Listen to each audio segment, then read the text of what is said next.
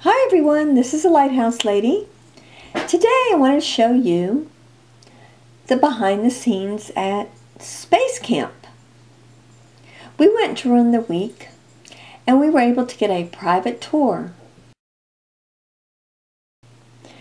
This is a view of the habitat and in each room there are seven beds.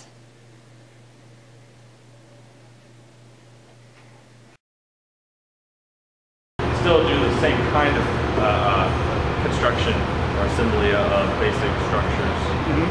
without actually diving.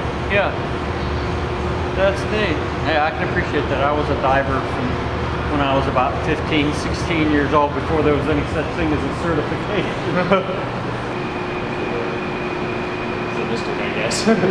they can just go of, hey, if you want to launch a shuttle or you want to launch a rocket to the moon, you need this science, technology, engineering, math, and here's how you can do it. And here's what you, or, or here's, you know, imagine the fastest. Uh, but then you, you, see the same kind of equipment that you might have seen on the, uh, the mission floor. Uh -huh. Also the in-use man maneuvering units. And uh, probably shooting trip. And then the 1-6 trip right there, which is less than experience. Oh. Basically one-sixth gravity. Uh -huh.